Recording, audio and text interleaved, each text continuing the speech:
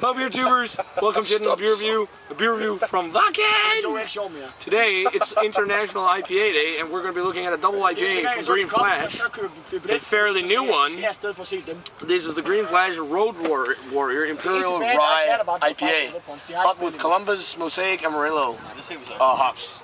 And Mosaic is an awesome hop. Um, very tropical. I'm looking forward to this. I think, I think so. We got it poured. Peter, you can talk about the color while it's pouring. I think it's pretty uh, reddish brown, brown. it's, about, Brown. it's quite dark actually. yeah, but it, it's kind of red. I think it's rosa. Let's check out the It's aroma. Indian. Indian beer. It smells really nice. It smells very refreshing. It smells very tropical and spicy from the spicy. Like rye. young pussy. Yeah. Han vækkede os. øh, Like tropical fruits, Bigger. sweet citrus fruits, orange, tangerine, pineapple. Uh, oh, den um, punch. oh, uh, passion fruit. Yeah. Let's give it a taste. Bare- uh, Cheers to Vakken. Yes. As the fifth year here. Crazy. Ikke, jeg tror på det, men jeg skal bare lige have den der, den der official.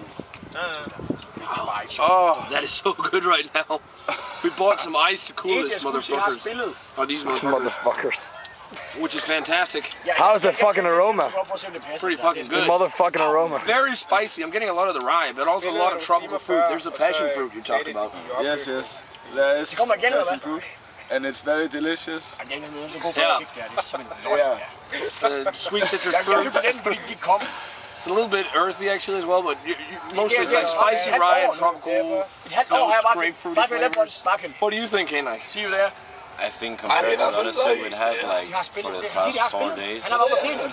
this is like coming, somebody came in my fucking mouth. yeah we be- it's like the best beer in a while.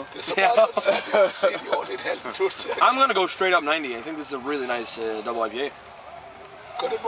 Det gør pisse ondt. I'm not sure if I trust my taste buds right now, but I I, I, Really I, I, I think it's pretty much. I'm gonna 91 because that's more than you. One more. Ah. It's really nice. It's really refreshing. What about you, Henrik? Ja, men I'm jeg fandt going nogle uh, with glaskår, uh, 88. I like it, but yeah, for I- en.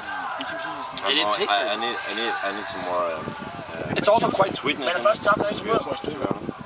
Um, it's got a really nice bitterness. It's actually really bitter.